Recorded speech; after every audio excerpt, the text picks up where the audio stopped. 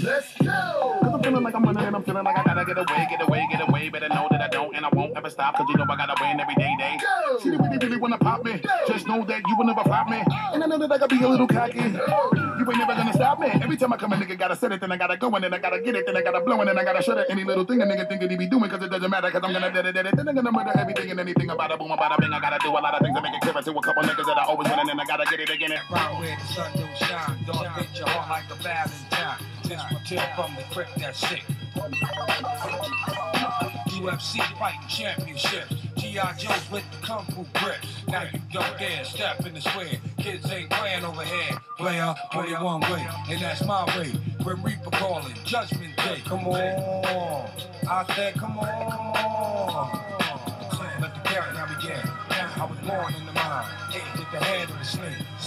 Behold Armageddon. Ain't no love for the rich. Only strong will survive. Cause we live by the sword. Plus 60 degrees. For the black and the blue.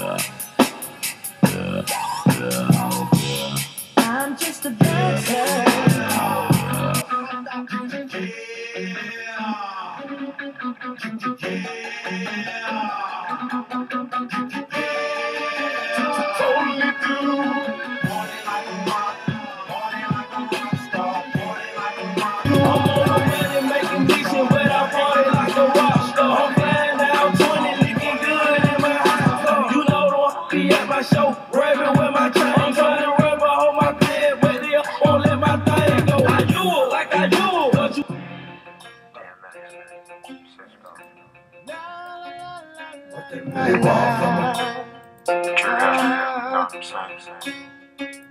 What they really want from her.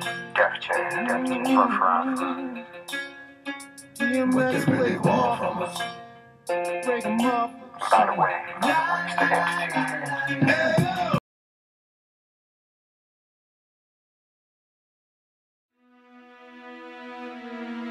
The Book of Revelations.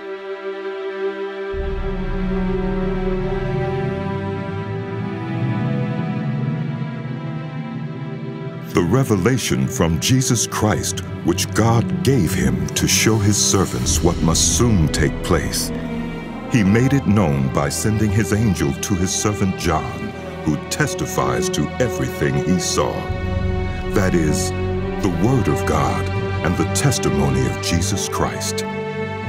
Blessed is the one who reads aloud the words of this prophecy, and blessed are those who hear it and take to heart what is written in it, because the time is near. John. To the seven churches in the province of Asia, grace and peace to you from him who is, and who was, and who is to come, and from the seven spirits before his throne, and from Jesus Christ, who is the faithful witness, the firstborn from the dead, and the ruler of the kings of the earth. To him who loves us and has freed us from our sins by his blood and has made us to be a kingdom and priests to serve his God and Father, to him be glory and power forever and ever. Amen. Look, he is coming with the clouds, and every eye will see him, even those who pierced him, and all peoples on earth will mourn because of him. So shall it be. Amen.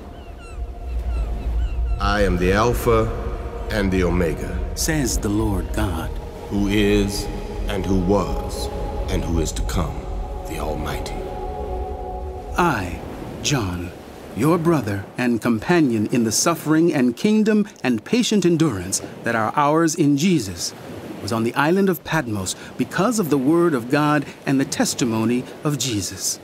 On the Lord's day, I was in the Spirit, and I heard behind me a loud voice, like a trumpet, which said, Write on a scroll what you see and send it to the seven churches to Ephesus, Smyrna, Pergamum, Thyatira, Sardis, Philadelphia, and Laodicea.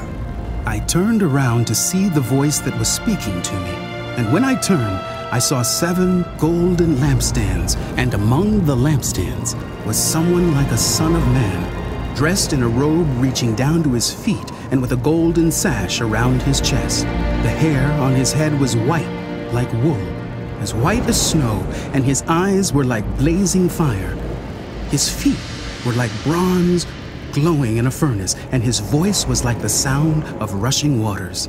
In his right hand he held seven stars, and coming out of his mouth was a sharp double edged sword. His face was like the sun, shining in all its brilliance. When I saw him, I fell at his feet as though dead.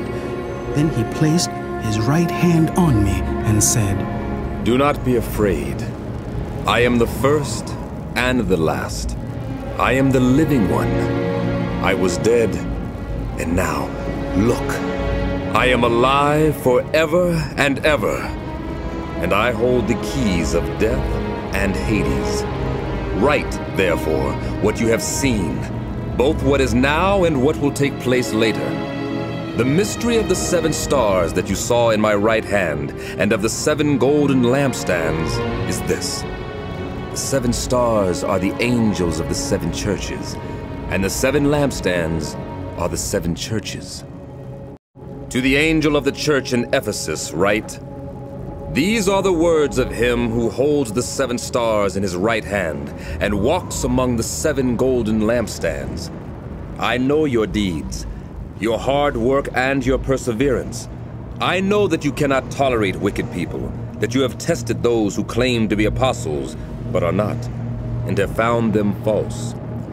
You have persevered and have endured hardships for my name and have not grown weary. Yet I hold this against you. You have forsaken the love you had at first. Consider how far you have fallen. Repent and do the things you did at first. If you do not repent, I will come to you and remove your lampstand from its place. But you have this in your favor. You hate the practices of the Nicolaitans, which I also hate. Whoever has ears, let them hear what the Spirit says to the churches. To those who are victorious, I will give the right to eat from the tree of life, which is in the paradise of God. To the angel of the church in Smyrna, write These are the words of him who is the first and the last, who died and came to life again. I know your afflictions and your poverty, yet you are rich. I know about the slander of those who say they are Jews and are not, but are a synagogue of Satan. Do not be afraid of what you are about to suffer.